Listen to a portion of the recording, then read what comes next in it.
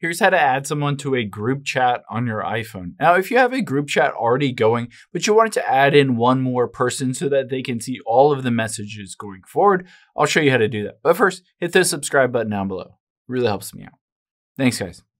Now, the first thing we'll do is head into your settings here because we need to modify something in your settings. Let's scroll down to the very bottom and tap on apps. Now we'll scroll down until we find messages on this list and tap on that.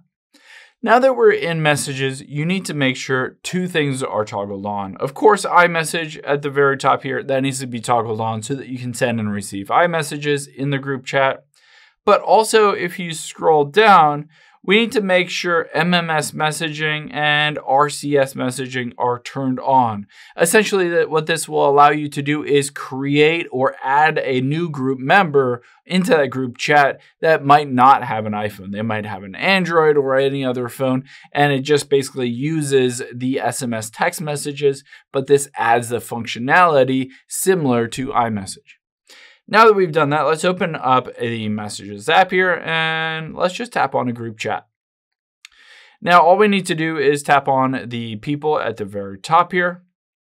You'll be able to see if I scroll down, it will show that there are four people currently in this group chat.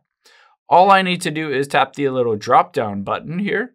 And now I can choose to add a contact. So just tap add contact and now all I have to do is type in that specific person's name here and then just hit the done button and that will automatically add them to this group conversation. Keep in mind, they won't be able to see any of the old messages. They can only see the new messages going forward. But anytime anyone sends a message in this group chat, a photo or video or whatever, they'll be added into that as well. I hope this helps. If it did, hit the like button down below and leave a comment if you have any questions. Thanks, guys.